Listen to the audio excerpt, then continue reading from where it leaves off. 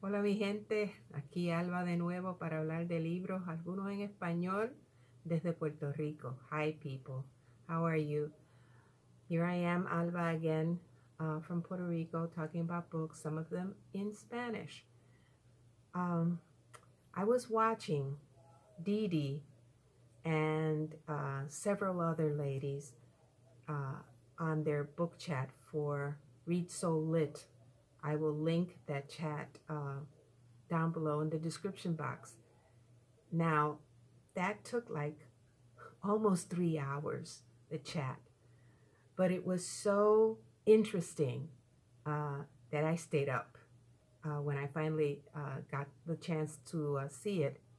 And I noticed that they mentioned uh, children's literature for this month of February, Black History Month and I was chomping at the bits because I love children's lit and especially uh, for the month of February.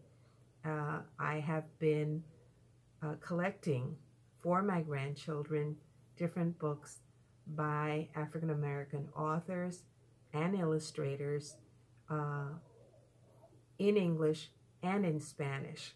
So that's what I want to share with you today.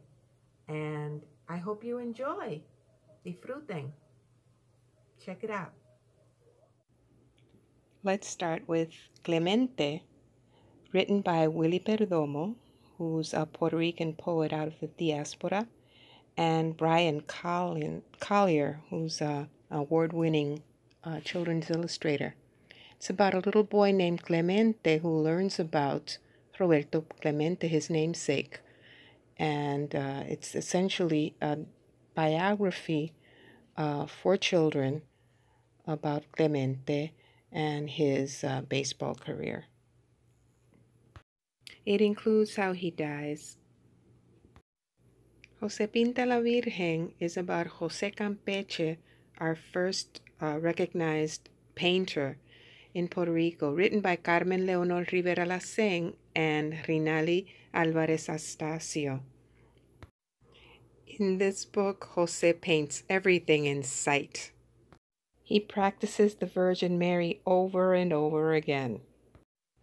And I found Los Discos de mi Abuela by Eric Velasquez. Here, Eric Velasquez pays homage to his grandmother's influence, musical influence on his life, all sorts of music. She loved every kind of music that there was. And she would dance, she would uh, play the drums, she would sing. Uh, she was a big influence.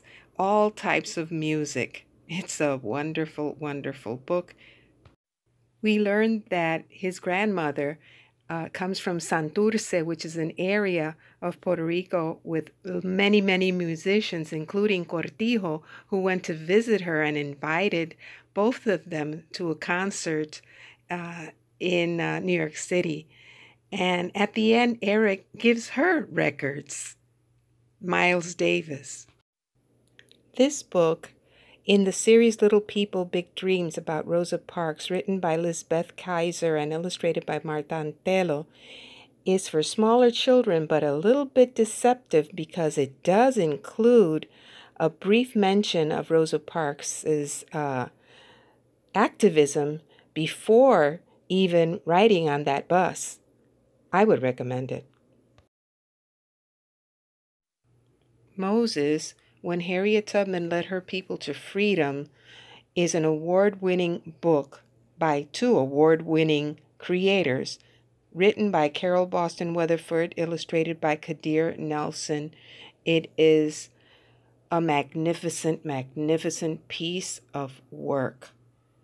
Oh, I loved every single page. When Marian Sang, written by Pam Muñoz Ryan, with pictures by Brian Selznick, is about Marian Anderson and even includes her historic concert on the steps of the Lincoln Memorial in 1939, in which she drew an integrated crowd of people in the pre civil rights America. Rosa, by Nikki Giovanni, no less, illustrated again by Bryan Collier, is not only about uh, Rosa Parks, it's also about the entire civil rights movement. Uh, check out those fold out or those fold out uh, pictures. They're magnificent. It's a brief history of the civil rights movement. Henry's Freedom Box is based on a true story about the Underground Railroad. It's written by Ellen Levine and illustrated again by Kadir Nelson. Beautiful pictures about uh, a unique voyage, a unique passage on the Underground Railroad. And you'll have to pardon me uh, for including the three Billy Goats Gruff, but I cannot, in clear conscience, uh, leave out the magnificent illustrator Jerry Pinkney and everything he does. Uh, look at this wonderful, wonderful edition of the Three Billy Goats, and I even have his Aesop's Fable in Spanish. Uh, just a wonderful, wonderful uh, illustrator, and I love everything he does. Now to get these books back to my grandkids. Bye.